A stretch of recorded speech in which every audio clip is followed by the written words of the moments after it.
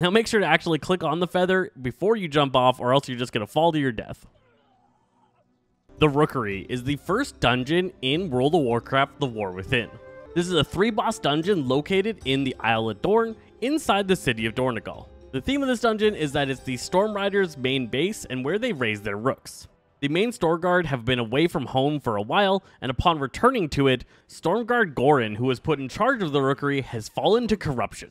Coming in the main gates, head straight forward, jump off the ledge, and land in the middle of all these guys, pulling everything in the area, which will include a mini boss. This mini boss will occasionally pick a direction, channel for a short duration, and then throw out three orbs that go outwards, stop for a moment, and then return to them. Pay attention to the way that he's facing and get ready to dodge those orbs. Getting hit by them once is okay, but getting hit by them twice should be avoided.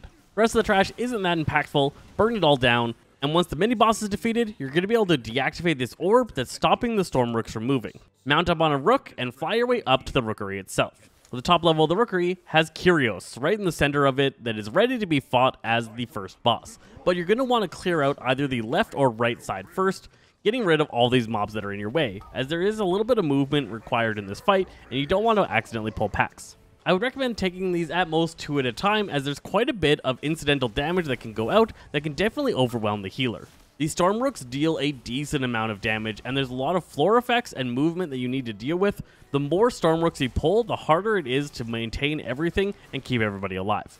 Once you cleared out about half of the area, you're free to pull the boss. You have to watch out for ground swirls and circles throughout this fight. The swirl is going to cause the boss to dash towards that area and call down a lightning strike, dealing a huge chunk of damage. And the smaller zones will occasionally pulse 1.1 million nature damage that's just unnecessary damage you don't need to take. When the boss reaches 100 energy, he flies to the center of the room and then begins channeling Lightning Torrent. This is a huge lightning beam that comes from his face, and he'll rotate through the room, blasting targets. As this beam starts to get close to you, you can jump down into the center of the room, and the winds below will catch you, delay for a moment, and then pop you back up. This is the main way to dodge the lightning beam if it's going to sweep over the entire group, so you don't have to run all the way around and maybe pull extra packs. When he dies, you need to now jump down into the center, the winds will be gone, and you can land on his first platform.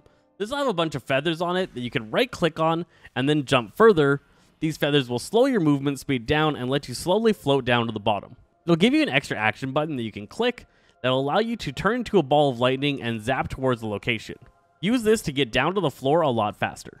Now make sure to actually click on the feather before you jump off or else you're just going to fall to your death.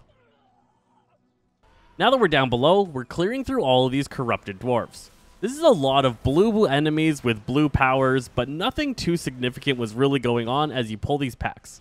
You're headed to the right, and you can ignore the pack in the corner and make your way down the hallway, clearing out everything in the area until you come across Stormguard Gorren.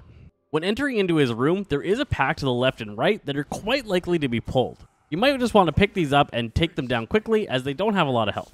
Gorren has three main abilities. First, he's going to mark a target with Chaotic Corruption. This is going to be a multi-stack debuff that deals damage over time.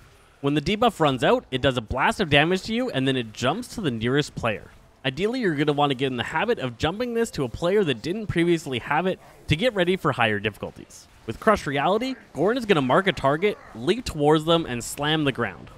This is going to leave a void zone on the ground and create a bunch of void pillars that shoot out. You're going to want to avoid all of this and try and control where these slams happen to give yourself as much room as possible. Finally, occasionally Gorren is going to begin channeling and pull everybody in towards himself. You need to run away from this ability, resisting the pull in, or you're going to take some massive damage and get knocked back when the ability ends. This guy isn't too hard, but once he gets a lot more health on higher difficulties, you're going to run out of room pretty quickly. With Gorren dead, make your way down into the next hallway, clear out the easy trash pack, and then jump down the elevator shaft and land in the water below. Now we're making our way through the Void Zone section of the dungeon. Climb up the slab to the side and then begin fighting all these Void enemies. Periodically throughout this zone, a random player is going to get a buff that's going to make them be able to summon a large circle that will stun and damage all enemies within them after a long delay. Basically, if you get this and you're fighting enemies that are above 50% HP, drop the circle on your current group of enemies, and this is going to deal some massive damage and stun them, making them a lot easier to deal with. These packs can really hurt, and you might want to take them on one at a time. Though some coordinated usage of the stun circle could make it so you can handle multiple groups if you're doing it well. Once the three large groups around the boss are taken out, the boss fight begins, and you're fighting the Voidstone monstrosity. Stormrider Vokmar is going to be flying around the area and helping you out with this boss fight. His Storm's Vengeance attack is extremely powerful and will chunk away 20% of the HP of the boss. But the boss will put up a Void Shell that will negate this effect.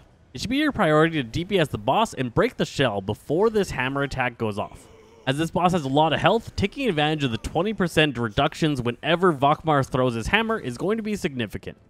After getting hit by the hammer, the boss summons three void chunks that will begin casting Reshape.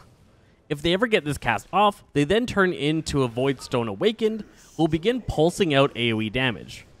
This AoE damage pulse is a stacking effect that will deal more and more damage every time it pulses off. Whenever you see these Void Chunks, it should be your priority to switch to them and burn them all down.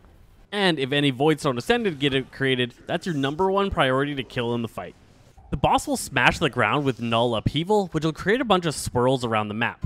After a delay, those are going to erupt up into Seeping Fragments, which will have a little void energy circle around them, reducing how much room you have to work with. While seeping fragments are up, Stormrider Vokmar is going to occasionally mark a player with a lightning circle. When you have this circle, you take 80% reduced damage from these seeping fragments, and you need to go and stand near as many of them as you can. After a delay, he'll throw his hammer at you and destroy all of the seeping fragments in your area. This is the main way you're going to be able to clear out these pillars, and it's going to take some work on higher difficulties to keep the area clear so that you can keep on doing what you need to do.